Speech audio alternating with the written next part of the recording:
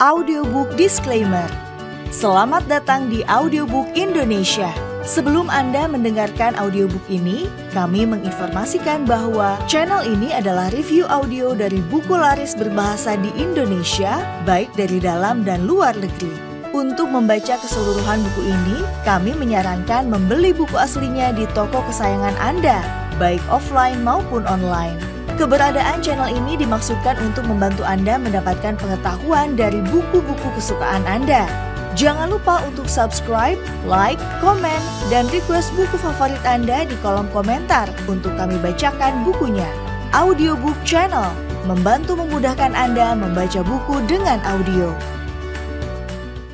Bab 14 Melihat ke dalam diri Coba kita merenung sebentar. Coba Anda melakukan hal yang biasa disebut dengan istilah inward looking atau melihat ke dalam. Bisakah Anda menceritakan bagaimana selama ini cara uang datang kepada Anda? Bisakah Anda mengenali polanya? Ada berapa cara? Mungkin agar lebih cepat saya bantu dengan pertanyaan, apakah uang Anda diperoleh dengan bekerja, diberi oleh orang tua, diberi oleh suami atau pasangan, dari hasil dagang, dari hasil usaha sendiri, dari gajian, atau dari meminta kepada orang lain. Sewaktu Anda melanjutkan membaca tulisan ini, mungkin ada di antara Anda yang sudah lelah dengan masalah keuangan, sudah capek dengan ketergantungan kepada orang lain, serta sudah tidak bisa lagi mencari cara untuk menutupi semua kewajiban yang terus meningkat setiap bulan dan setiap tahunnya. Sewaktu Anda melanjutkan membaca tulisan ini, Mungkin ada di antara Anda yang sudah lelah dengan masalah keuangan, sudah capek dengan ketergantungan kepada orang lain, serta sudah tidak bisa lagi mencari cara untuk menutupi semua kewajiban yang terus meningkat setiap bulan dan setiap tahunnya. Anda memilih bertanggung jawab atas apa yang akan terjadi di depan Anda. Anda memilih untuk menyetop ketergantungan kepada orang lain. Anda memilih menjadi pribadi yang menang, anda memilih untuk menjadi bagian dari solusi. Tidak ada yang namanya keunggulan. Yang ada hanyalah pengulangan. Misalkan ada seorang perempuan cantik berdiri di dekat halte, dekat jembatan Semanggi di Jalan Jenderal Sudirman, Jakarta. Waktu menunjukkan pukul 12 tengah malam. Perempuan cantik dengan tinggi semampai dan berkulit putih tersebut berpakaian rapi sesekali melihat jam di tangan kanannya. Ada beberapa orang berdiri bersamanya, tetapi perempuan yang satu ini menarik perhatian karena cantiknya menonjol sekali. Kalau dilihat sekilas, usianya mungkin tak lebih dari 25 tahun. Make upnya tipis sehingga kecantikan alaminya terpancar. Anggaplah Anda sedang mengendarai mobil dan Anda berjalan perlahan di depan halte tersebut. Kira-kira apa yang terbersit pertama kali dalam pikiran Anda tentang perempuan cantik di sisi kiri jalan yang disorot jelas oleh lampu merkuri dekat halte itu? Mungkin ada yang menebak, ini pasti cewek nakal sedang menjajakan diri. Atau ada juga yang mengatakan, mungkin perempuan ini pulang kerja shift malam dari hotel di bilangan sini. Pokoknya macam-macam. Pasti ada yang positif dan ada yang negatif. Keduanya bergantung kepada template kepala Anda masing-masing. Lantas, bagaimana template di kepala seseorang tercipta? Mengapa manusia satu dengan lainnya berbeda? Karena perbedaan itulah output atau hasilnya berbeda-beda juga.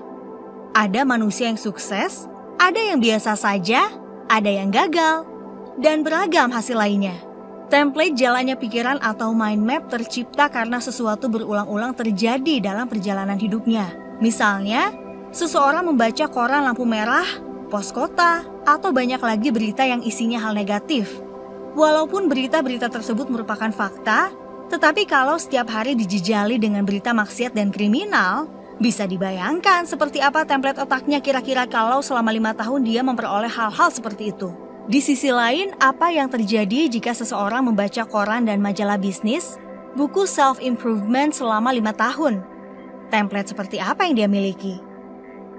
Jika sekiranya kedua orang tersebut berjalan bersama dalam mobil, lalu melihat fenomena perempuan cantik tadi, bisakah Anda menebak apa isi pikiran masing-masing kedua orang itu? Bagaimana?